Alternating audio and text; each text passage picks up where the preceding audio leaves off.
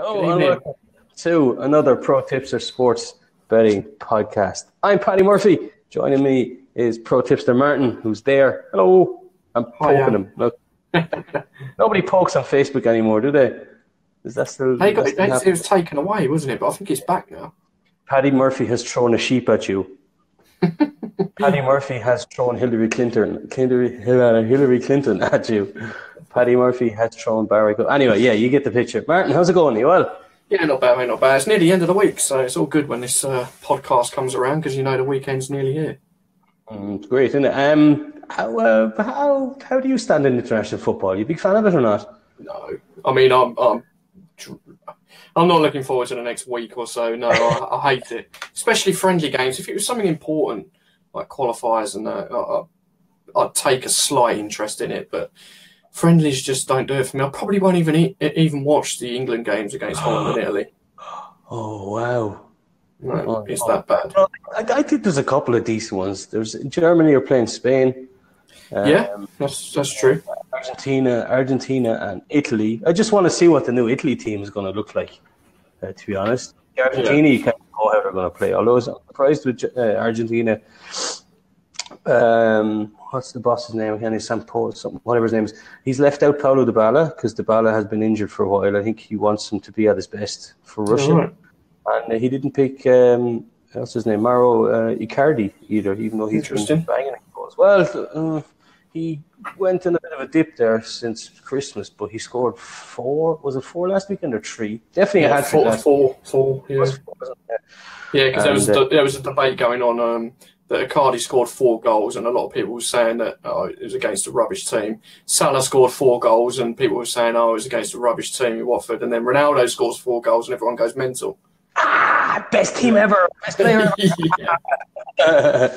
yeah, it's it's a bit. Um, yeah, you know, Ronaldo fans though, isn't it? Uh, Yeah. Are they are they football fans really, or just Ronaldo fans? Which is it? You know, decide. You need Exactly. to decide one or the other. Um, there was one uh, that I thought was kind of interesting. I was writing about it uh, during the week for the Pro Tipster website. Go to protipster.com slash betting news, and you can see all of the tons of betting previews that we've been doing. We're putting out about between 40 and 50 a week now. Um, yeah, there was one, uh, Denmark and Panama. This will be of interest to you now. Now, I know Denmark and Panama sound very interesting, but uh, uh, hear me out here, Martin. Um, Denmark, uh, as you know, Panama have England in their group. Uh, Panama's first match is against Belgium, which they'll lose. Panama's second match Yep. is against England. Now, here's, here's, here's, here's where the plot thickens. And the third match is against uh, Tunisia, which they'll probably win. So, England also will probably beat Tunisia. England won't probably beat Belgium. So, it's going to, going to come down to England and Panama in, in the group stage. And I know you're smiling there thinking, nah, we'll beat Panama easy. Oh, yeah, I think I think uh, the neutral. Uh, uh, you know, I don't think any England fans panicking about that game. To be honest, you, Okay. watch it. Watch Denmark win four five nil tonight. Then. No, no, no, no. Listen to this, right? All of Panama's matches that they're playing in their uh, pre World Cup friendlies are all against teams who play this kind of English style of football. So you have uh, Denmark, Northern Ireland, Switzerland, and I don't remember the other one. It was the Sweden. So these people who play the ball a lot in the air. You know, so they are going right. We have to be. England is the only chance. So let's play a lot of teams who play this English style of football. And uh, yeah, I don't know. I've been look, looking up like the Asian handicap and stuff like that. The handicap was uh, minus two. I think it's gone down to minus one and a half now because uh, Panama don't lose. They they they're not very good, but Yeah. they don't lose by a lot. You know, they generally only lose by one goal. So they're really going to go for this England match. I think I'm already looking forward to it. It's not happening until, until next June. Like if they're getting in four games, these four games against teams who play an English style of football, then yeah, I think I think it's really smart.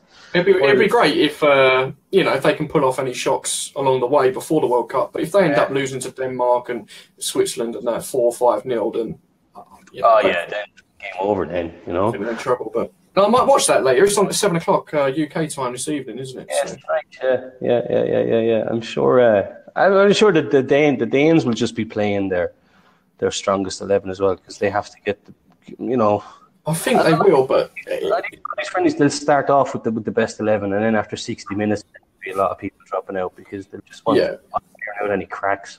Because there's, not- there's only there's only these three or four matches to go, and then, then we have the World Cup. You know, it's not it's not it's not much for a team at all. Even though it's far away for us, it's not until Yeah. June. It's far away if you're an international manager. You know, I think a lot of managers will have an idea of the majority of their squad, but yeah, I reckon a lot of, a lot of teams would have called up some uncapped players. So there's a few people that can squeeze in. I'm not actually sure who Denmark have called up if they've got any uh, debuts on the horizon or not. But I had a. there, there's there, I think there's only about two or three te- two or three players in the whole squad who are under ten, so not really. Um, uh, on to England are playing Netherlands, yeah, in, in the Netherlands in Amsterdam. Um, what do you think of Ronald Koeman getting the job?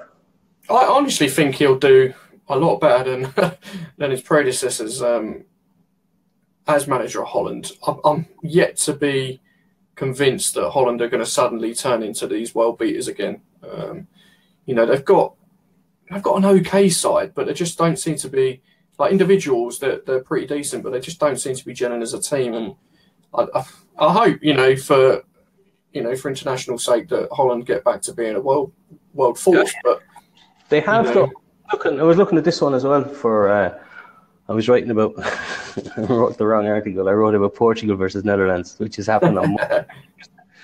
But um, their front three will probably be Memphis Depay, um, Bas Dost, who's playing brilliantly in for Sporting in, Yeah. in Portugal. I think he has 23 goals in 24 appearances this season.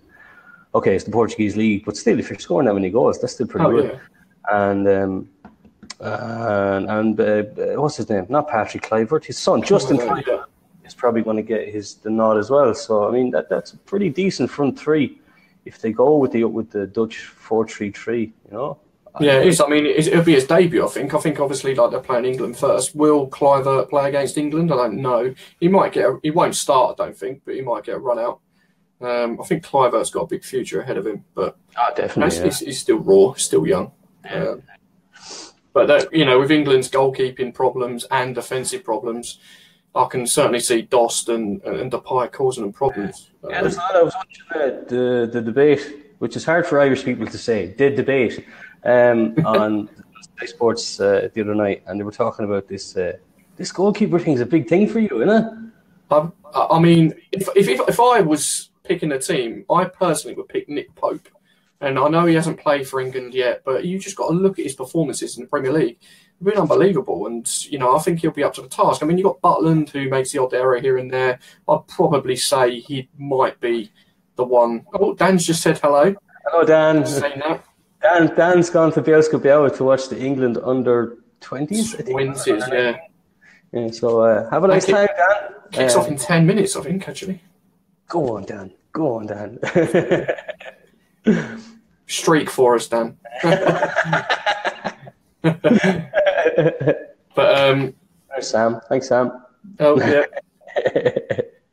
But no, um, what was, what was I saying? Yeah, the Holland Holland England game, the, the goalkeeping situation. I'd pick Nick Pope. Butland's probably gonna get the nod. I'd say Joe Hart for me shouldn't go. I mean, being a West Ham fan, he's been awful for us this season. So Jordan Pickford, he's, I mean, there's rumours that there's, there's reports that he's impressed in training. Whether that's enough, and uh, Joe Hart's actually laid a bit of a guilt trip on Gareth Southgate because Joe Hart's come out and said um, that he re- that he sees Gareth Southgate as a loyal person. Uh, so kind of insisting that lo- he'll get picked based on loyalty. So, There's no loyalty in football, no, lad. there isn't. Um, oh, here's another one. Hello from South Wales. Hello. Oh, No, wow, hello.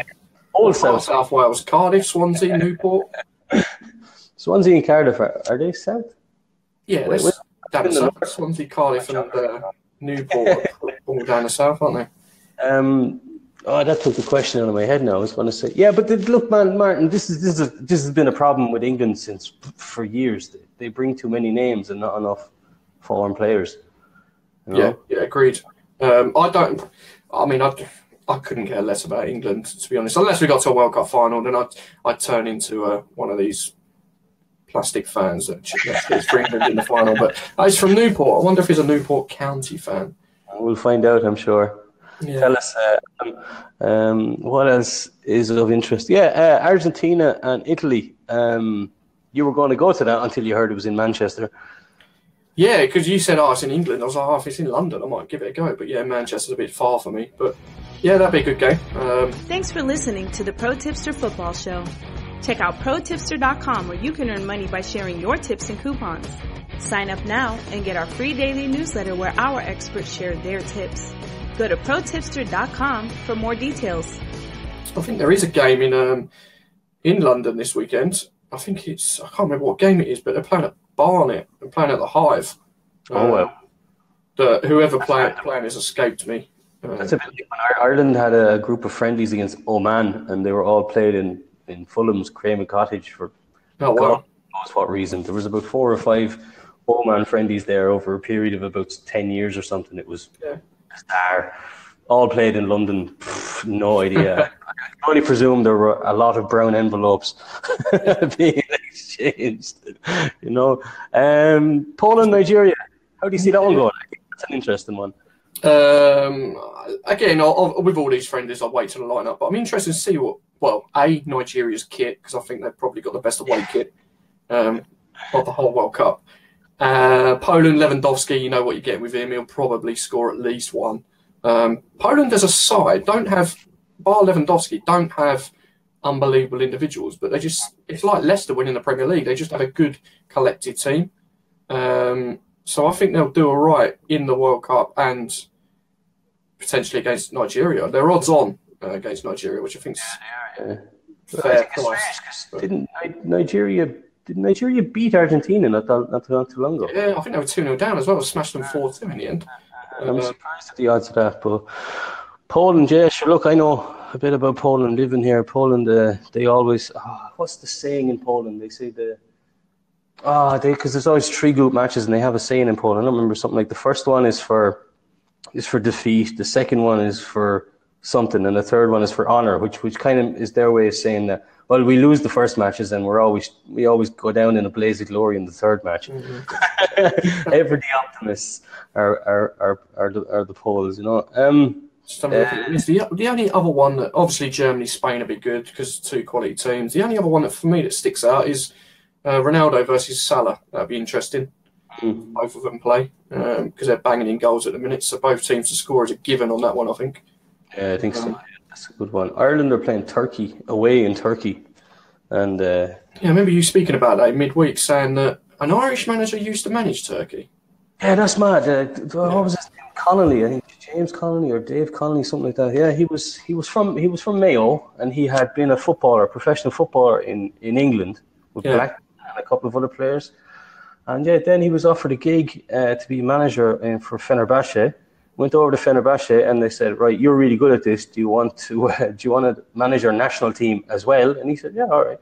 And then World War II started, and he uh, came home. Yeah, mad, Wow. a mad story, isn't it? That is random. But anyway, yeah, look, they're playing, playing Turkey, and it's it's it's. I, I think it's a fairly interesting game, even though it probably won't be very good. But it, it's it's interesting from a Turkish and, and an Irish point of view because the Turks have a new a new manager. He used to be um, he was Besiktas manager when they won the championship. When they had that uh, had a great season, they only lost once. Uh, he won it, and then he went off to Shakhtar for like eight or ten years or something. And he's their new manager. He's been brought in because they want to play nice, attractive football. They've de- decent amount of, of um, new young players in the team. Yeah. Cengiz uh, Under for from Roma is probably the best, and then Cenk Tosun from um, Everton. People will know as well. And then Ireland have uh, Ireland have a whole new crop of championship players coming through. So uh, Shawnee Maguire, Scott Hogan, Yeah. Aston Villa and Preston North End. They have uh, Matt Doherty from uh, Wolves. I, I really like him and he's a good player. And then your your lad from West Declan Ham. Rice, I was waiting for you to mention him. Yeah.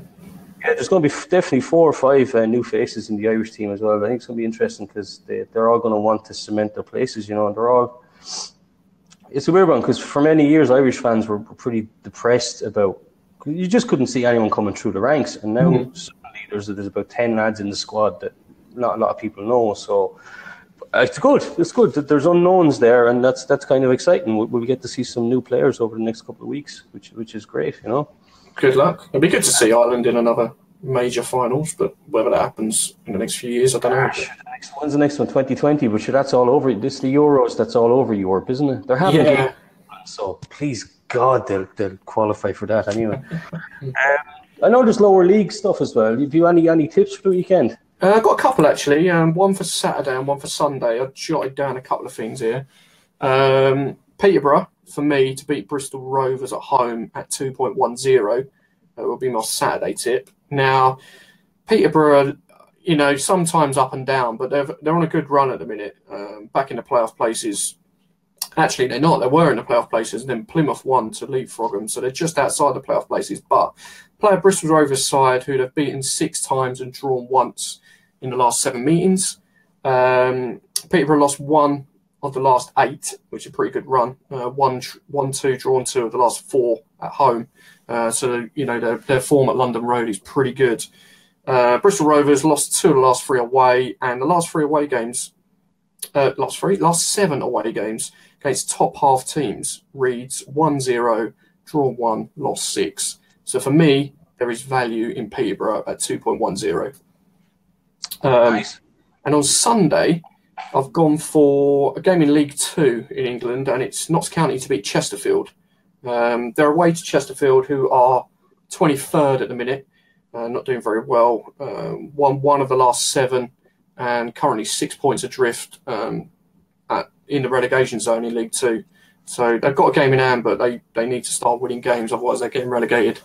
Um, with Barnet, because Barnet are pretty much already down. Um, two clean sheets in the last 20 games as well. So you can expect Notts County to score at least one against them. Um, Notts County are fourth at the minute and go third if results go their way at the weekend. Uh, so they'll be back into the automatic places if they can get a win. And uh, George Grant, for me, top scorer for Notts County with 18 goals this season. Um, and if he, personally, if he's on form, they'll, they'll win. Um, that seems to be the case this season. And in January, he was kind of uh, he's on loan from Nottingham Forest, and in January it was, was rumoured that he was potentially going to get recalled by Forest and then sold to Bradford or Oxford. Um, but that didn't happen, and they said uh, said to Notts County, "Look, you can have him for the end of the season." And I think he's been a massive part of where they are this season. And uh, yeah, if he if he plays well, which I think he will, then then Notts County will win, and the price for them is two point one two. So again, odds against, and uh, I think very very decent value. Nice, very good. Uh, I don't have any other than uh, there's, a, there's, a, there's a good program with Serie B matches if you're into that kind of thing this weekend. uh, Pescara playing Empoli, I think that's going to be a good match. Parma are playing Foggia, that's going to be a good one. And then on Saturday as well, there's a, a Segunda, Segunda division match between uh, Sporting Gijón and uh, Rayo Vallecano, and that looks like it's going to be good because they're both uh, up in the in the promotion places. They're scoring a lot of goals, and mm. uh, yeah, that's it. There'd be goals in that match for sure. So not a tip, but have a look at um, protipster.com forward slash betting news, where you'll find all of our uh, loads and loads and loads and loads and loads and loads of uh, previews of betting articles full of stats. All kinds of amazing stuff. Yeah, Adam was back on to us. Uh, Adam nearly beat Spurs. First leg of Yeah, he's a, he's a Newport County fan fan, yeah. Bale and Bucks, team. Good man, Adam. Thanks, thanks for your comments, Adam and Sam and Dan. Enjoy the match. If you're still, no, you won't be listening now because it's a, it'll have kicked off. Yeah, three um, minutes. He's probably getting a beer now or something, isn't he? Good man. Um, and there's, there's nothing else for the weekend. Is there any other sporting um, events happening?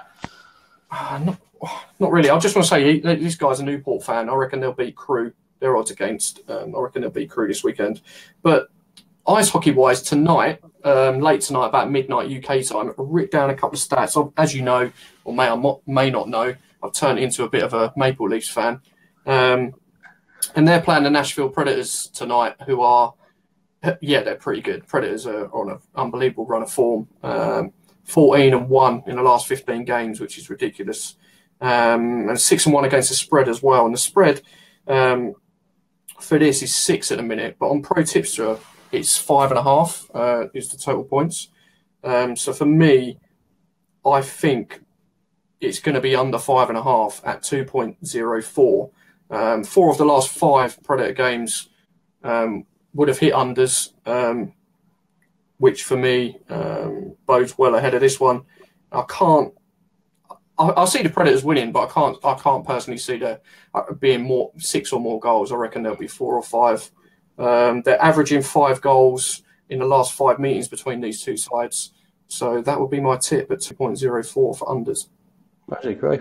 Well, thanks for that. Thanks for that. NHL and football tips. And uh, yeah, we'll be back on Monday, everyone. Make sure and check out protips.com for the best free sports tips on the on the internet, and as well protipster.com forward slash betting news for all of our betting tips, Yes. articles, and stats and things like that. Martin, thank you so much for joining me. We'll be back on Monday then with uh, Pro Tipster Dan.